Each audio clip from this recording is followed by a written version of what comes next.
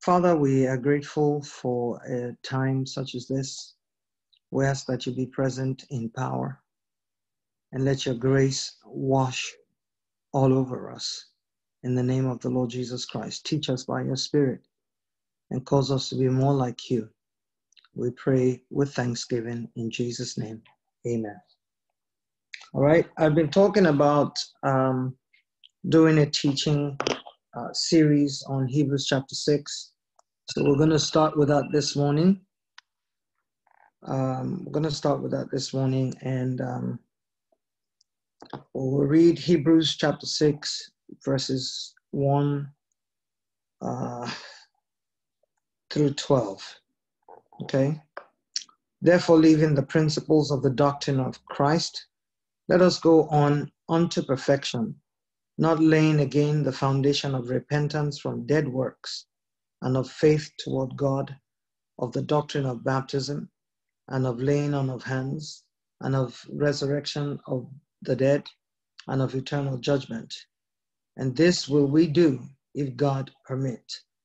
For it is impossible for those who were once enlightened and have tasted of the heavenly gift and were made partakers of the Holy Ghost and have tasted the good word of God and the powers of the world to come, if they shall fall away, to renew them again unto repentance, seeing they crucify to themselves the Son of God afresh, and put him to an open shame. For the earth which drinketh in the rain that cometh often upon it, and bringeth forth herbs meet for them by whom it is dressed, receiveth blessing from God. For that which beareth thorns and briars is rejected, and is nigh unto cursing, whose end is to be burned. But beloved, we're persuaded better things of you, and things that accompany salvation, though we speak thus. For God is not unrighteous to forget your work and labor of love, which ye have showed towards his name, in that ye have ministered to the saints and do minister. And we desire that every one of you do show the same diligence to the full assurance of hope unto the end, that ye be not slothful, but followers of them who through faith and patience inherit the promises. Praise God. Now, Paul is talking to um, God's chosen people. I believe Paul wrote the book of Hebrews. Uh, the Bible the book is not clear as to who the authorship is in terms of uh, a name being mentioned. Oftentimes, when Paul would write, Paul would say, Paul, an apostle of Jesus Christ to the church in Corinth, to the church in Galatia, to the church in Ephesus.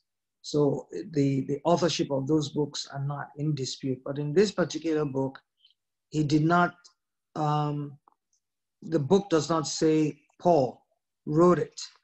But if you know uh, Paul's writings, number one, and the way that he would speak to the people, either to chastise or to encourage or to break down the truth of the word of God, the, the, the, the secrets, if you like, to the, to the uh, new covenant, the New Testament, then it's very clear that Paul is the one who wrote this book. I believe he did. Um, I also believe that the reason why he didn't bother to mention his name was because he was writing to his own people. See, it would be funny if I came on the platform and I said, This is Pastor Mo speaking to you, now listen to me. You all know that this is Pastor Mo, and you all are here every morning to listen to me. So it doesn't make any sense for me to come and announce who I am and to ask you to listen to me. I believe that's why this book of Hebrews doesn't say it was written by Paul, because it was writing to his people for whatever that is worth. That's what I believe. Bible scholars say they don't know who wrote it, but the way he broke down uh, the Old Testament and, and the New Testament and married both and showed the reason for the existence of one and the more or less suspension of the other, only Paul had that kind of revelatory knowledge from the Spirit of God. So Paul is writing and he says, Let us leave the principles of the doctrine of Christ and let us go on to perfection. I've told you repeatedly that the word perfection means um, maturity. It doesn't mean being perfect as in being flawless or sinless or without fault. It just means being mature. So Paul is calling us to a place of maturity. I have labored over this fellowship since the uh, 20th of February when God started it. I have been faithful and I have been diligent uh, to study and to bring you a fresh word from the presence of God. Uh, there were a few times that we couldn't be together because of um, my travel and, and situations in, in a third world country, which some of you are familiar with. Um, but by and large, I've not missed any day for any reason whatsoever uh, that wasn't uh, justifiable. So Paul, I'm now calling you guys to a place of maturity. And I'm calling you guys to a place of responsibility. Some of you are no longer where you were when you started about a year ago. Some of you have gone on to maturity, and some of you understand the responsibility of, of ministry and of, of touching the lives of, of people. I looked at uh, the, uh, uh, the Bible study chat group, and I see that we're about 100 and last time I looked, we were like about 150, 58, 160 or something like that. It's to the point where I cannot reach out to everybody by myself alone. You guys need to come to a place where you understand that this is a fellowship group that God put together, distance notwithstanding. And you guys need to be able to reach out to one another and encourage one another and don't leave it just up to myself alone. For counseling, uh, for prayers and things like that, I am always available. I am still available for anything that you may need me for. But outside of our time together every morning, Monday through Friday, you need to make friends with one another and you need to reach out to one another and you need to encourage one another and you if you don't see someone in the call you need to call them consistently i don't think at any one given time we have been more than 20 or 25 on these calls yet on the chat group we're like 160 so let's let's begin to do what is required of us if we are family like you all say we are. I see the chat group. And if we care about one another, then we should reach out to one another. I haven't seen um, I haven't seen Ricky in a while. Okay, um, there's nothing wrong with you looking up his number and calling him. That we haven't seen you on the on the on the Zoom calls in a while reach out to your brother, reach out to your sister, and encourage one another to not be absent from these meetings. For me, it makes no difference whether it's one person or not. Yesterday, it was just one person who logged on. And we stayed on, on the Zoom call till 9.23 before we both logged off. And then we logged on to WhatsApp uh, video and we fellowship for maybe another 40, 50 minutes, almost an hour. Okay, so whether it's one person that comes, whether it's 50 people, whether it's 2,000 people, I will teach the word of God the way I know to teach it. So let's leave childish stuff and let's move on to maturity. The first thing Paul talks about here, he says, not the laying again of the foundation of repentance from dead works. Repentance is a foundational thing. It's the first step towards being saved. All right? In Romans chapter 8, sorry, Romans chapter 10, Paul is writing to the church in Romans, in, in Rome, but he makes us to understand what we do to get saved. All right, look at verse 8. He says, But what saith it? He's talking about the word of God. What does the word say to you? The word is near you, even in your mouth, in your heart. That is this word of faith that we preach. That if you will confess with your mouth the Lord Jesus and believe in your heart that God has raised him from the dead, you will be saved. Okay? Give me one second. Can you still hear me? Yes. Can you still hear me? Yes, we can hear you, Pastor. This, these calls are just they're disturbing me. All right, guys, I'm back. Verse 10 For with the heart a man believeth unto righteousness, and with the mouth confession is made unto salvation. For the scripture says, Whosoever believes on him shall not be ashamed. For there is no difference between the Jew and the Greek, for the same Lord over all is rich unto all that call upon him. For whosoever shall call upon the name of the Lord shall be saved. That's the prayer for repentance that we pray in order for us to get born again or get saved. That's the foundation.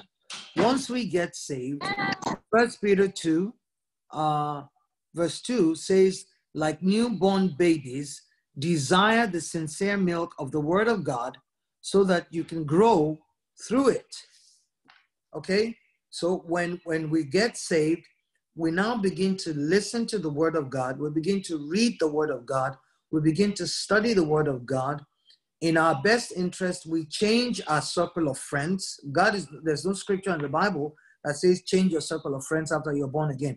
But the Bible does say that um, evil evil company corrupts good character. So in our best interest, we change our circle of friends so that we don't continue to be influenced by some of the stuff that they do.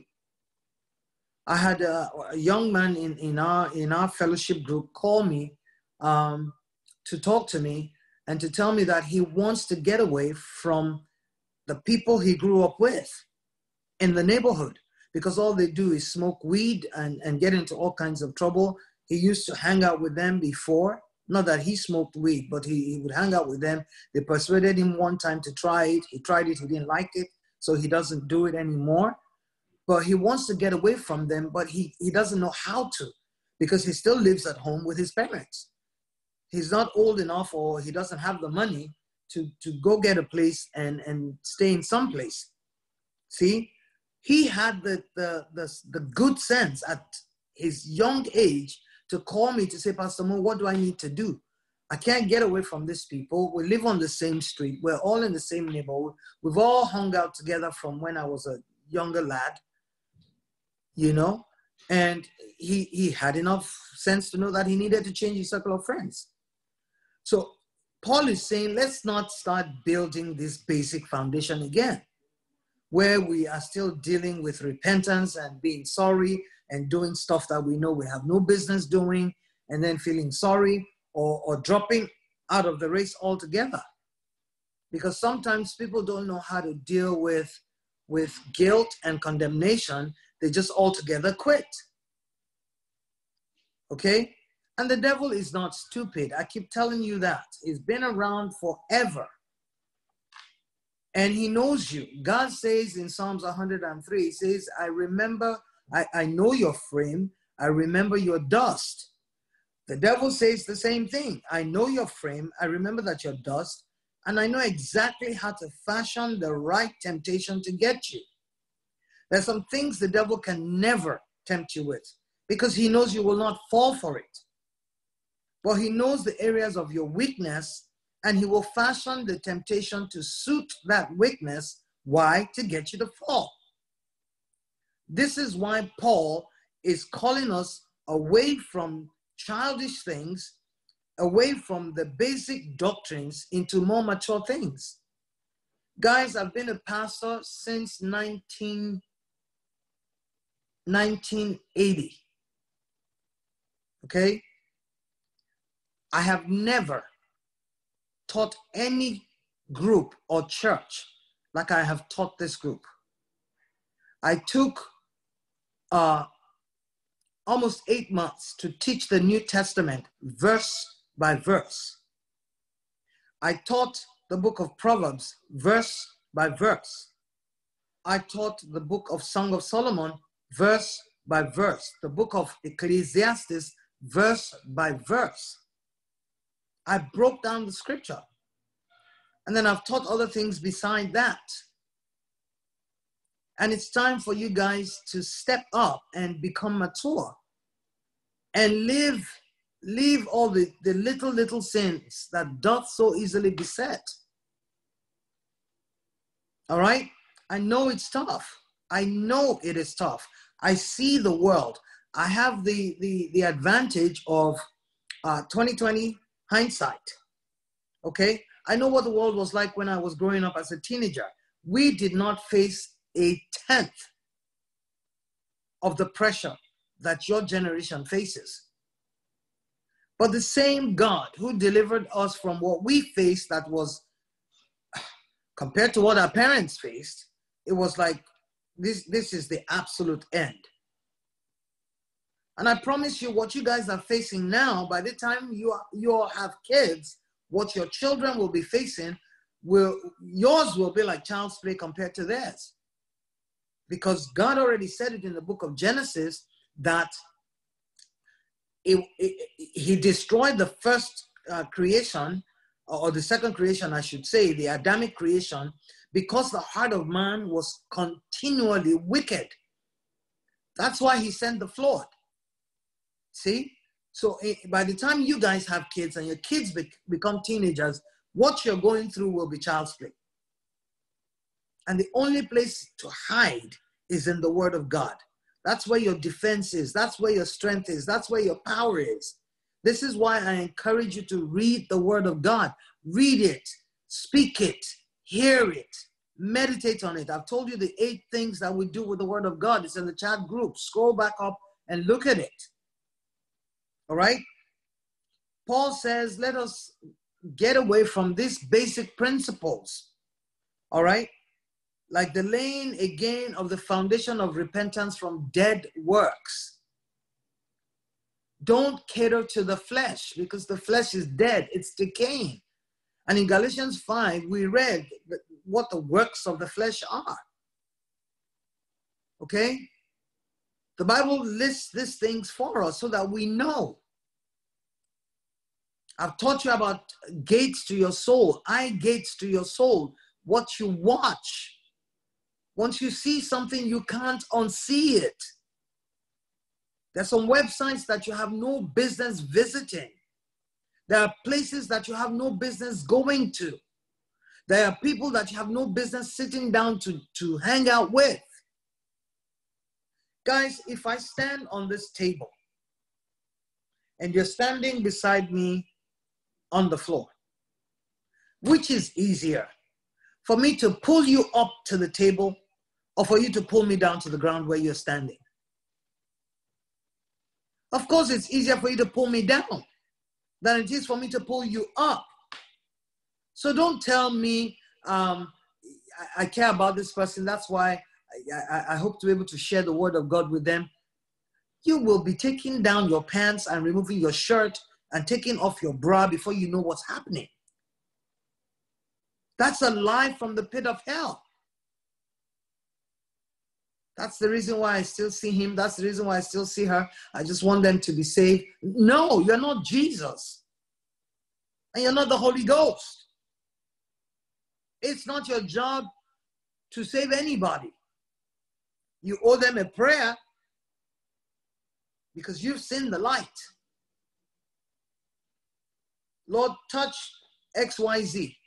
Let them come to a saving knowledge of the Lord Jesus Christ, like I have found grace in your sight. That's all you owe them. And you don't have to see them or be with them to pray that prayer. Okay? Paul says, get away from these basic things repentance from dead works there are places I won't go to, not because I don't have the liberty to do so. Paul says all things are lawful, but not all things are expedient. Okay? Laying on again the foundation of repentance from dead works. How many times are you going to say, Lord, I'm sorry? And then you go back and you do the same thing. And then you come back and you say, Lord, I'm sorry. And you go back and you do the same. How long are you going to go through that motion? It's not worth it at the end of the day. I told you God told me something many years ago, very simple illustration, but powerful, and it has stayed with me. He said, Your heart is like a waffle. And every time you listen to the devil, he captures one square. You listen to him, he captures another square. You listen to him, he captures another square. You listen to me one time, I take one square. So whoever you listen to the most and you do what it is that they're asking you to do, that's the person that's going to capture the most squares. And whoever controls your heart is the person that's going to control your behavior. The sound in my car is too long for my car. Ariane, please look upstairs. I'm sorry, guys. It's too long to be in my car. All right? So whoever you listen to the most and whoever captures uh, your your heart is the person that's going to control your heart. Okay? Paul says repentance from dead works. We need to get away from it. We need to begin to live the life that God has called us to live. We need to be, begin to become examples of believers. People need to see you and see the change in your life. Some of you were saved before you came to this platform. Some of you got saved here. All right?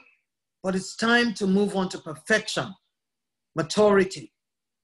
It goes on to say um, faith toward God. Faith is a basic, all right? Hebrews 11 6. The Bible says, I want to quote it properly. The Bible says in Hebrews 11 6, that but without faith it is impossible to please him being god. Without faith it is impossible to please god. For he who comes to god must believe that god exists and that he's a rewarder of them who diligently seek him. Someone once asked me about uh, how to stop their faith from wavering and i explained to them your faith doesn't waver Faith is a spiritual gift, it doesn't waver. If God has given you something, He's given it to you. It's not going to diminish, it's not going to increase, it's not going to waver, it's not going to shake. No. What happens is you allow doubt into your heart, and doubt makes you um, double minded. And then you think your faith is wavering. Your faith is not wavering. Your faith is constant. It's a gift that God has given to you. You just need to activate it. But when you set your eyes on what you shouldn't set your eyes on, and you hear what you shouldn't hear, and you read what you shouldn't read, and you hang out with the people you shouldn't hang out with, it begins to create an atmosphere where you can doubt the veracity of the Word of God.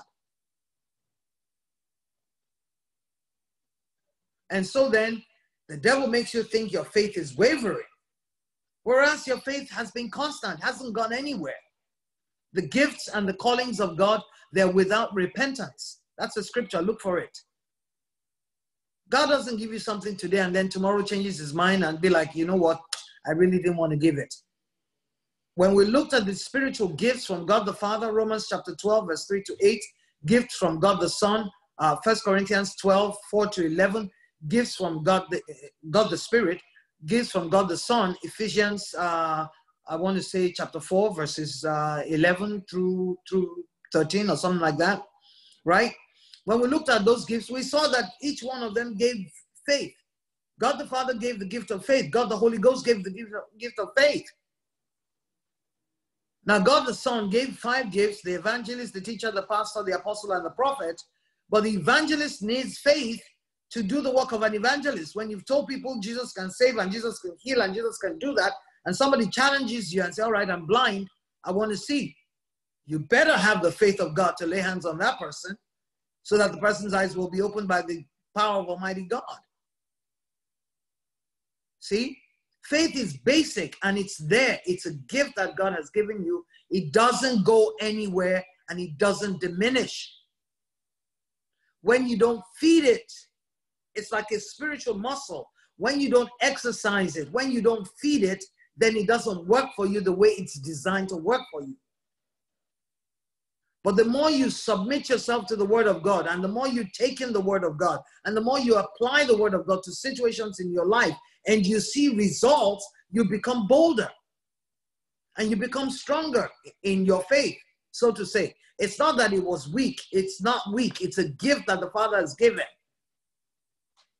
You're the one that's not strengthening it. You're the one that's not exercising it. You're the one that's not using it to the point where you can actually see it work for you. Praise God. The third thing Paul mentions, he talks about the doctrine of baptisms. The doctrine of baptisms. And there are three types of baptisms that are mentioned in scriptures. The first one is the baptism of suffering. Thank God we don't have to go through that. Only one person did Jesus Christ, our Lord and Savior. Okay, that's the first kind of baptism, the baptism of suffering. The second kind of baptism that's mentioned in the, in the Bible is the baptism of repentance, which is the same thing as baptism with water. Now, there are all kinds of teachings out there concerning baptism, and there are all kinds of different ways that people practice it. But the biblical way is by immersion. The word baptism is a Greek word baptizo, which means to immerse. So, baptism is immersion in water. And what baptism says, first of all, let's look at Acts 19. I want you to, to see uh, some scriptures concerning it. The book of Acts, chapter 19. Paul was coming from uh, uh, uh Ephesus and he encountered some disciples and he engaged them in a discussion. All right. Verse 19, uh, uh, chapter 19, verse 1. And it came to pass that while Apollos was at Corinth, Paul, having passed through the upper coast, came to Ephesus, and finding certain disciples, he said unto them, Have ye received the Holy Ghost since ye believed? And they said unto him, We have not so much as heard whether there be any Holy Ghost. And he said unto them, Unto what then were ye baptized? And they said unto him, unto John's baptism. Then said Paul, John verily baptized with the baptism of repentance, saying unto the people that they should believe on him which should come after him, that is on Christ Jesus. When they heard this, they were baptized in the name of the Lord Jesus. All right, so that is baptism by water. That's what John the Baptist, the forerunner of Jesus Christ, came to do. He was baptizing in Jordan, and people came by the droves to be baptized it's a baptism of repentance. So when you repent of your sins and you invite Jesus Christ to come into your life and be your Lord and Savior, the next step in your walk of faith is baptism by water. Now, last year we had a whole bunch of you flying to Houston to be baptized. And I thank God for the privilege of, of, of doing that with you and sharing in that joy and, and in that grace with you. But then I decided that that would be too expensive for each of you to come down to Houston uh, because you, you wanted me in particular to baptize you. It's not that any man or, or woman of God cannot baptize you. It was an act of your will and choice to come to Houston for me to be the one to baptize you. It's not compulsory that I baptize you. As long as you are sure of the person that you're submitting yourself to for baptism. So I, I decided and I said to, to the group at that time that I will fly out it's cheaper for me to buy just a one ticket than for all you all to take money out of your pockets. I know it's coming from individual pockets, but if you put it all together, it's in several thousands of, of dollars. It's cheaper for me to buy the one ticket if you guys can put yourself together as one group. and on the 5th of November, 5th through the 7th of November, I actually flew to Miami and I had the privilege of baptizing several of you in this uh, Bible fellowship. So if you want to be baptized, get a group together. I will fly out to you. If you want me to, to be the one to baptize you, I will fly out to you and I will do it. It's an honor.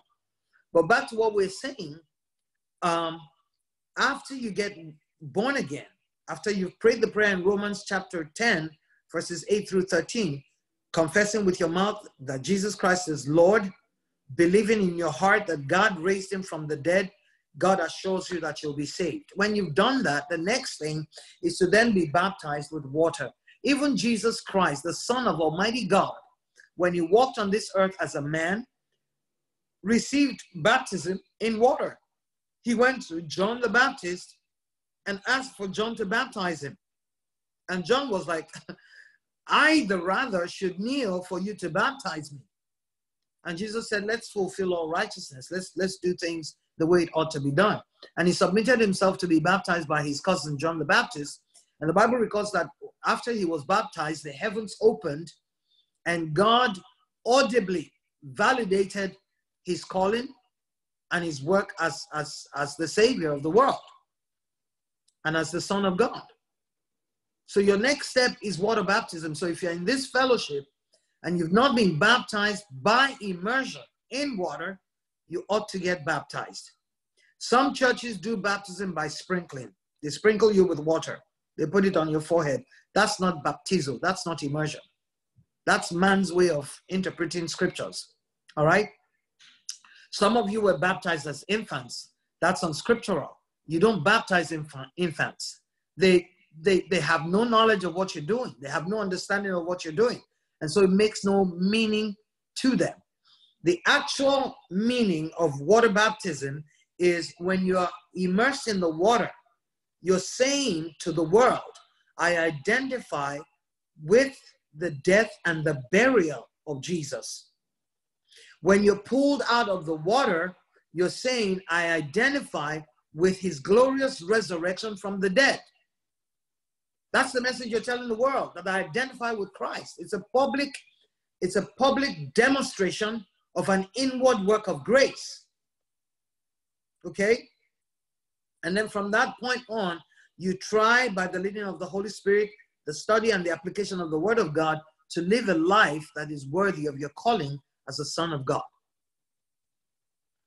You're baptized as an infant, your parents uh, pick their best friend or, or their, their closest sibling or whatever to be your godmother and your godfather. Question When was the last time you saw a godfather or a godmother?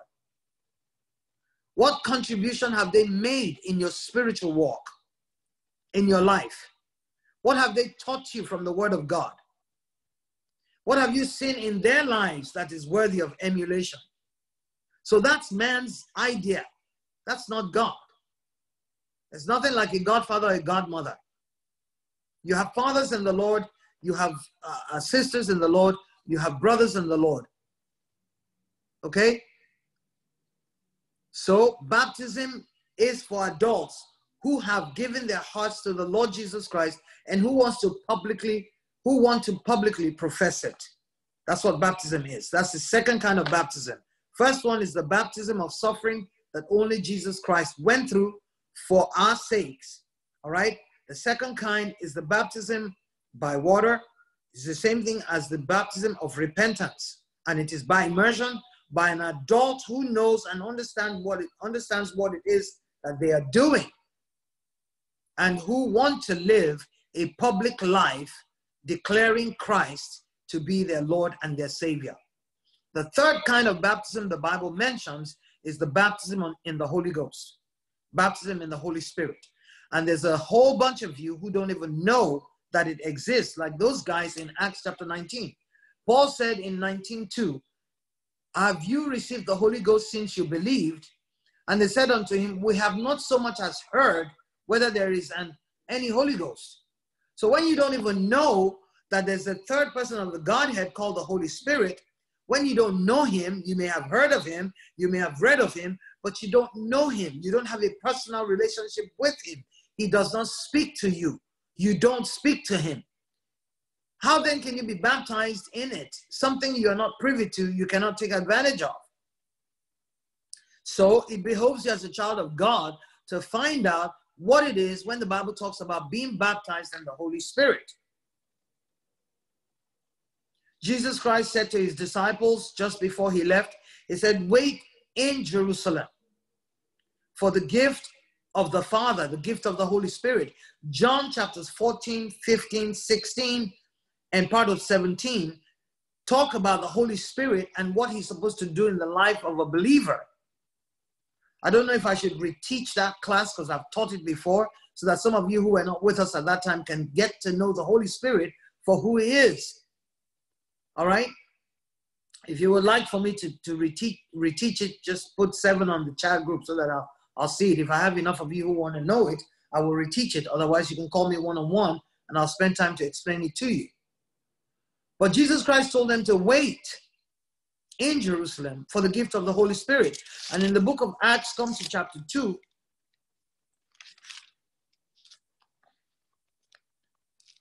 In obedience to Jesus asking them to wait, the Bible says, when the day of Pentecost was fully come, Acts chapter 2, verse 1, They were all with one accord in one place. And suddenly there came a sound from heaven as of a rushing mighty wind, and it filled all the house where they were sitting. And there appeared unto them cloven tongues like as of fire, and it sat upon each of them. And they were all filled with the Holy Ghost and began to speak with other tongues as the Spirit gave them utterance. All right? That's what the Bible refers to as baptism in the Holy Spirit. Come with me quickly to Acts chapter 11. I want to show you several examples. Acts 11, we read of the account of Peter. All right? Peter was uh, awakened by God. Let me, let me give you the verse. Uh, let's read from verse 2, chapter 11. And when Peter was come up to Jerusalem, they that were of the circumcision contended with him, saying, Thou wentest into men uncircumcised and didst eat with them. Is this the one I'm looking for? Yes, it is. All right, there, there are actually two, um, actually two scriptures. There's one about Cornelius, and there's this other one. But let's continue reading this one. Then Peter rehearsed the matter from the beginning, verse 4, and expounded it by order unto them, saying, I was in the city of Joppa praying, and in a trance I saw a vision. A certain vessel descend as it had been a great sheet, let down from heaven by four corners, and it came even to me. Upon the which, when I had fastened mine eyes, I considered and saw four footed beasts of the earth, and wild beasts, and creeping things, and fowls of the air. And I heard a voice saying unto me, Arise, Peter, slay and eat. But I said, Not so, Lord, for nothing common or unclean hath at any time entered into my mouth. But the voice answered me again from heaven, What God hath cleansed, that call thou not common. And this was done three times, and all were drawn up again into heaven. And behold, immediately there were three men already come unto me, come unto the house where I was, sent from Caesarea unto me. And the Spirit bade me go with them, nothing doubting. Moreover, these six brethren accompanied, accompanied me and were entered into the man's house. And he showed us how he had seen an angel in his house, which stood and said unto him, Send men to Joppa, and call for Simon, who is surnamed Peter who shall tell thee words whereby thou and all thy household shall be saved. And as I began to speak, the Holy Ghost fell on them as on us at the beginning. Then remembered I the word of the Lord, how that he said, John indeed baptized with water, but ye shall be baptized with the Holy Ghost. For as much then as God gave them the like gift as he did unto us who believed on the Lord Jesus Christ, what was I that I could withstand God? When they heard these things, they held their peace and glorified God saying, Then hath God also to the Gentiles granted repentance unto life. Paul referred to Jesus' words in John chapter 14, verse 26, where Jesus said, You guys are going to, uh, John baptized with water, but many, not many days from now, you will be baptized of the Holy Ghost. This is the result of what happened in chapter 10. That's the one we should have um, read first. Um, the account of Cornelius is what I'm looking for. It's chapter 10. Let's read verses 1 to 8. There was a certain man in Caesarea called Cornelius, a centurion of the band called the Italian band, a devout man and one that feared God with all his house, which gave much alms to the people and prayed to God always. He saw in a vision, evidently about the ninth hour of the day, an angel of God coming into him and saying unto him, Cornelius. And when he looked on him, he was afraid and said, What is it, Lord? And he said unto him, Thy prayers and thine alms are come up for a memorial before God. And now send men to Joppa and call for one Simon, whose surname is Peter. He lodgeth with one Simon a tanner, whose house is by the seaside. He shall tell thee what thou oughtest to do.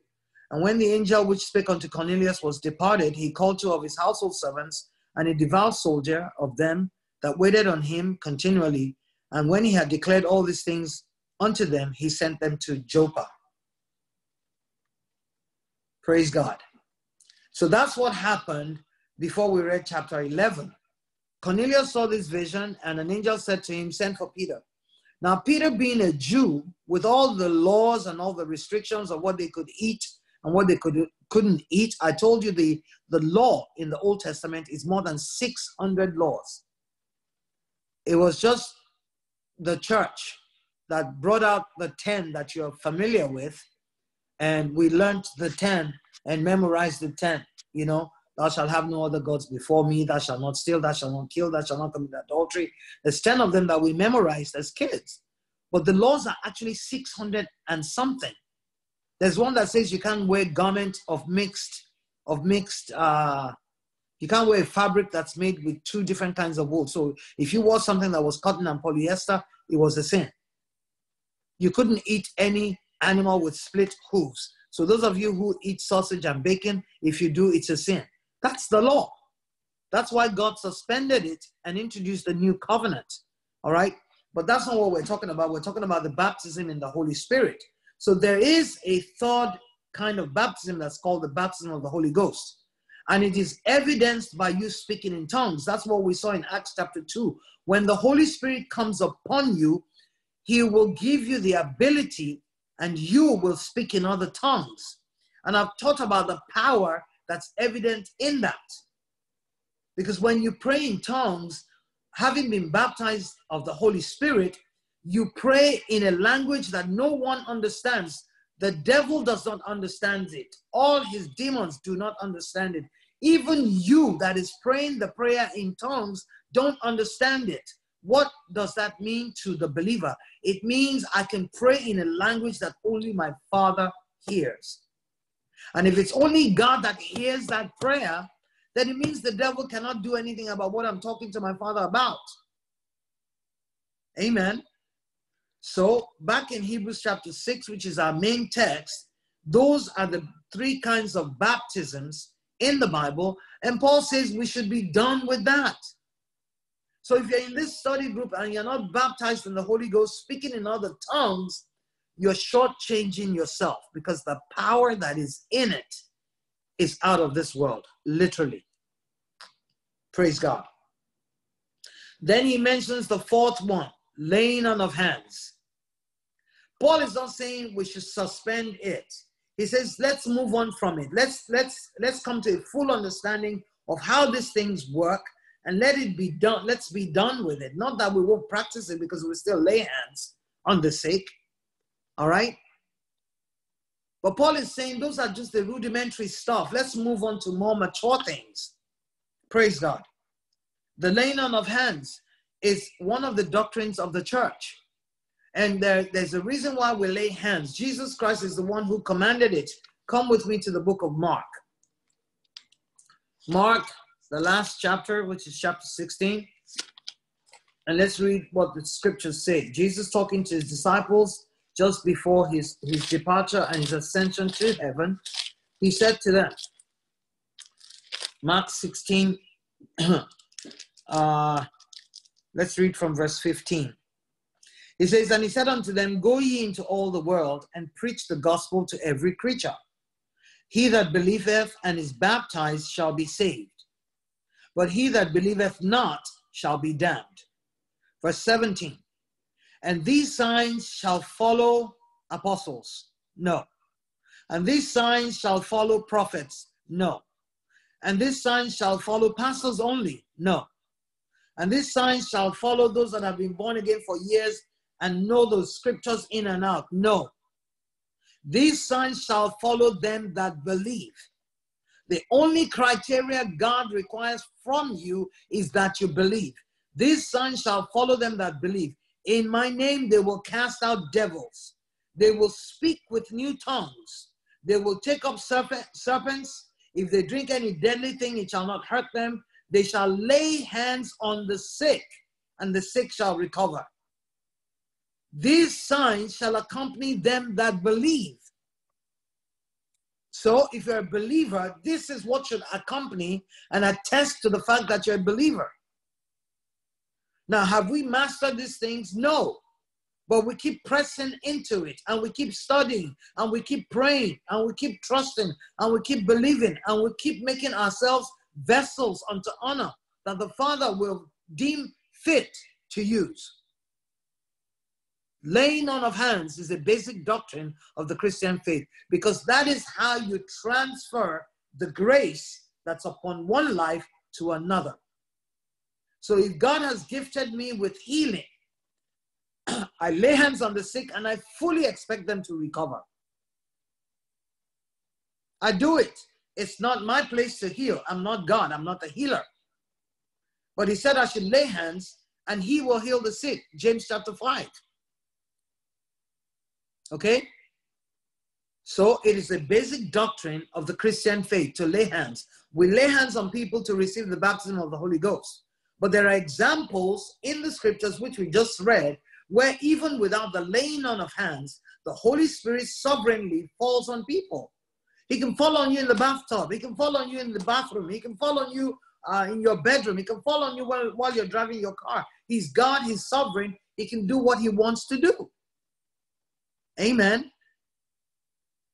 So the first one is the foundation of repentance from dead works. Second, faith. Third, the doctrines of baptism. Fourth, the laying on of hands. And then he goes on to talk about the resurrection of the dead. And there is a resurrection of the dead, whether you believe it or not. All right? Because we have a firstborn from the dead who is the Lord Jesus Christ. The Bible says he died and on the third day he rose. It is a historical fact. Over 500 souls were raised from the dead the morning he got out of the grave and they returned to their families. He was seen of many after his resurrection. Let me share a personal, personal testimony with you guys. My mother died on the 9th of December 2011. The pain is indescribable. There are no words for it. I've lost people. I lost a sister. I lost my dad. I lost my grandparents. I've, I've lost cousins, aunts. It's nothing compared to the loss of a mother. I was, I was damaged. I couldn't function. I couldn't think. I couldn't eat. I couldn't do anything. There was a huge knot in my heart. On the 17th of February, 2012, God touched my heart and He healed me. And I literally felt that knot dissolve. That's when the pain of the loss stopped. The physical pain of the loss stopped. Okay? But the pain is still there because once you lose a mom, it's forever. It, it never heals. All right? Now, I said all of this to share this testimony with you. I went into her room. I, I was I did it often. I would just stand there. Sometimes I would cry, sometimes I would just stand there in, in total shock and disbelief that she was gone. And I heard a clanging sound behind me. I turned and I looked. Um, we had this uh, vertical blinds in her room. You know the kind that you, you yeah, they're vertical blinds. You can you can pull a string and they go up, or while they're down, you can turn a rod and you can either shut it uh, or open it. I'm sure you know what I'm describing. So I turned around and I recognized that the clang came from that blind. Now, guys, I understand an up and down movement because of gravity. But where there is no wind, I don't understand a sideways movement of objects. The blinds had lifted off the wall and hit the wall. So I looked at it and I'm like, what just happened? I went out of my room, out of her room into my room because we had an adjoining door. She was living with me at that time. Out of my room, and I ran into the kitchen to go to go see if it was a windy night. It wasn't windy. I came back into the room and I was looking at the blinds. I couldn't understand the sound that I had heard and what I knew obviously caused it. It lifted off of the wall and hit the wall.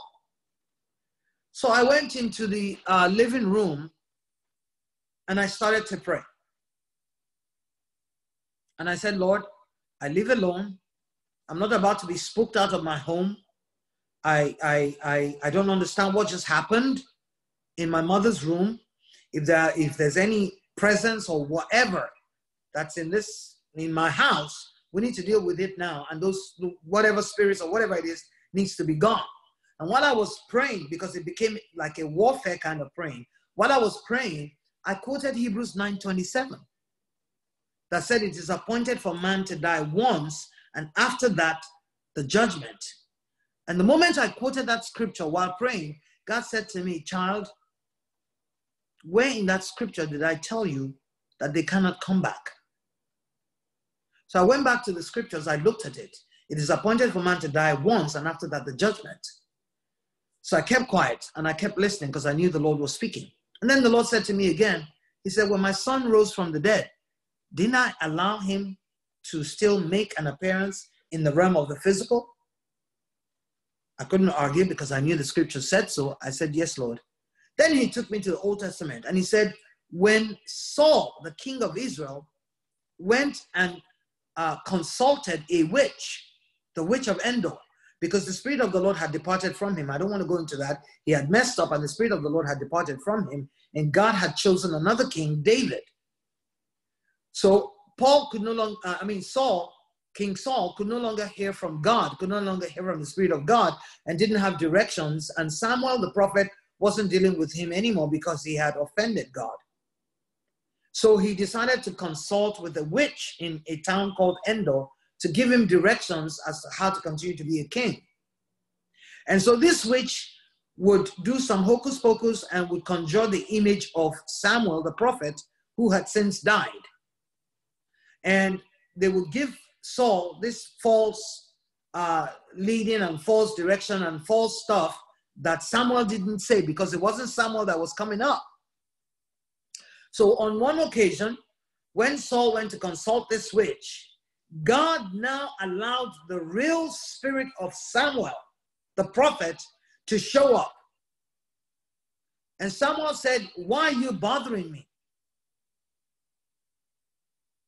So God allowed Samuel to actually reappear in the realm of the physical, even though he had died and was waiting in paradise for Jesus' death and resurrection to take all of them that were in paradise to heaven. See? So it is possible. This is what I'm saying. I don't even know how I digress into that. That we're talking about the resurrection of the dead. There are six kinds of resurrection of the dead that is mentioned, and I want to take the time to teach that as a topic by itself. Okay? So I'm going to suspend that. Maybe that's what I'm going to teach tomorrow so that you understand how what the six different uh, resurrection types are in scriptures because if I go into it, we'll take too much time with it. But let's suspend that till tomorrow morning when I will teach on the various kinds of resurrection the Bible talks about. But it's real and it's going to happen. And that's the blessed hope that we have. Before I leave, and I know I'm going to touch on it again tomorrow when I teach on resurrection, come to First Corinthians chapter 15. Let me just show you real quick. First Corinthians chapter 15, and we're going to read verse 51. Are you there? Behold, I show you a mystery. We shall not all sleep, but we shall be changed. We shall all be changed. In a moment, in the twinkling of an eye, at the last trump, for the trumpet shall sound, and the dead shall be raised incorruptible, and we shall be changed. For this corruptible must put on incorruption, and this mortal must put on immortality. So when this corruptible shall have put on incorruption, and this mortal shall have put on immortality, then shall be brought to pass the saying that is written, Death is swallowed up in victory. O death, where is thy sting? O grave, where is thy victory? The sting of death is sin, and the strength of sin is in the law. But thanks be to God who giveth us the victory through our Lord Jesus Christ. Therefore, my beloved brethren, be ye steadfast, unmovable, always abounding in the work of the Lord, for as much as you know that your labor is not in vain in the, the Lord. We will be resurrected, those of us who die before Jesus appears in the skies. The Bible says those of us who are dead will be resurrected. Those of us who are alive will come together to meet him in the air and he will take us to heaven. And the Bible says, so we will be with him forever. All right? We'll teach on resurrection in full tomorrow so that you understand the blessed hope that we have as believers. All right? And then he talks about eternal judgment. And there are two major judgments, which I will also teach on because I need for you to understand both. So tomorrow I'll teach on the various resurrections that are mentioned in scriptures. Then on, on today's Tuesday, then on Thursday, I will teach on the two judgments that you need to know. Very important. The second judgment is very critical, and that's the one you don't want to be in. Praise God. I'm going to wrap it up and I'm going to take questions at this time.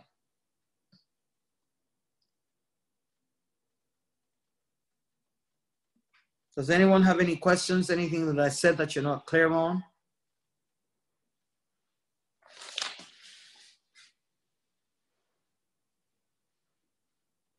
Oh, you're all muted. I'm sorry. This was right. recorded, right? Pardon? This was recorded, right? Yes, it is recording. Anyone have any questions? All right, if you don't, let's pray. We're going to wrap it up. Father, we thank you for your word. Thank you for the power that's in it.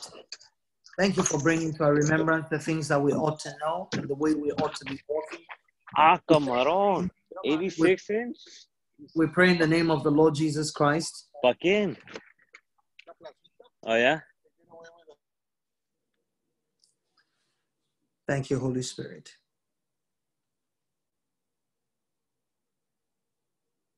Thank you, Jesus. Father, we ask that those of us who are pressing into you and who are diligently seeking you, that you will reward us and you will make our reward visible, that men may know that it is profitable to seek after you and to follow after you. Touch our hearts and let your word find room to grow, to change us, to equip us, and to fulfill our deepest desires, which is to know you more. We give you thanks and praise. In the name of the Lord Jesus Christ, we pray. Amen. God bless you all. I'll see you all tomorrow. We're going to look at the different resurrections the Bible talks about. And then the day after, we're going to look at the judgments, the two judgments that the Bible talks about.